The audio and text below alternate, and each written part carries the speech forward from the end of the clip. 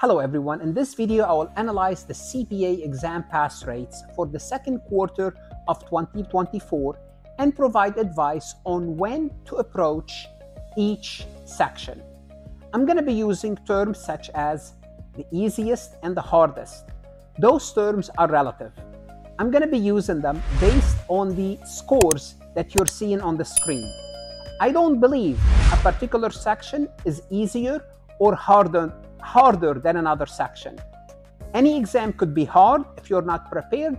Any exam could be easy if you are prepared. So when I say easy, according to the pass rate, hard according to the pass rate, it's all relative. Now we get that out of the way, let's start to analyze the scores. Farhat Accounting Lectures is a supplemental educational tool that's going to help you with your CPA exam preparation as well as your accounting courses. My CPA material is aligned with your CPA review course such as Becker, Roger, Wiley, Gleim, Miles. My accounting courses are aligned with your accounting courses broken down by chapter and topics. My resources consist of lectures, multiple choice questions, true false questions, as well as exercises.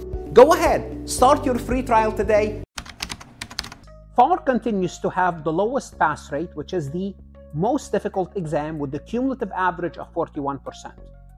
Since FAR has the lowest pass rate, it's wise to tackle FAR first before any other sections. That's one reason.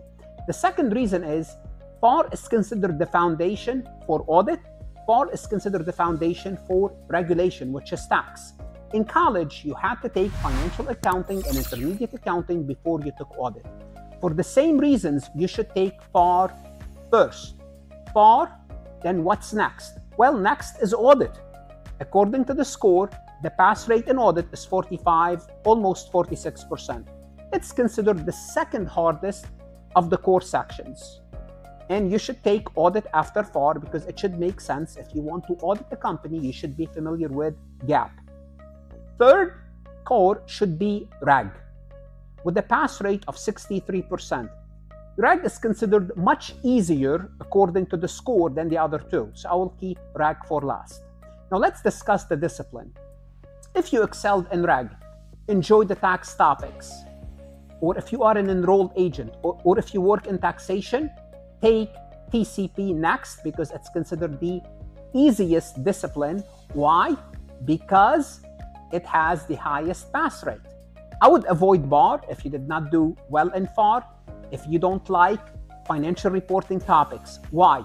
Because in bar, you are going to see again revenue recognition, you're going to see leases, you're going to see governmental accounting, you're going to see consolidation at a more advanced level.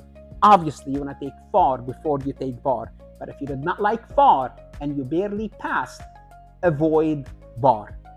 Who should take information systems and controls, or when should you take it? Well, you should take it last. That's the first thing. Take your discipline last.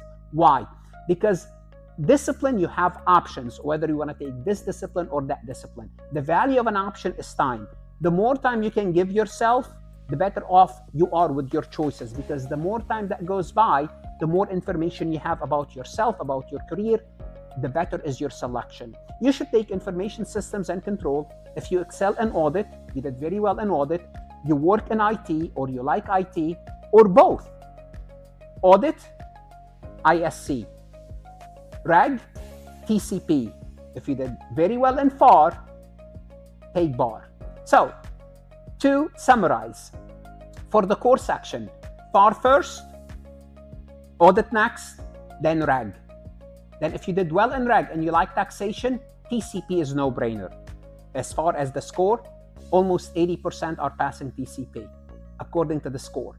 Then between BAR and ISC, choose the one that either is considered a low-hanging fruit, which is easier for you to pass, or the one that serve your career. Now, sometimes it's worth investing the extra knowledge if that extra knowledge, that extra effort, that extra energy will serve your career path. If you work in information systems, you should take the ISC. If you work in audit, you should take the ISC. If you work in taxation, take TCP. What should you do now?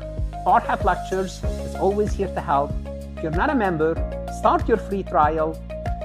We can help you pass the exam, whether you're studying with Becker, Miles, Gleim, Surgent, or any other CPA review course you would. We are here to help you. Good luck, study hard, and stay safe.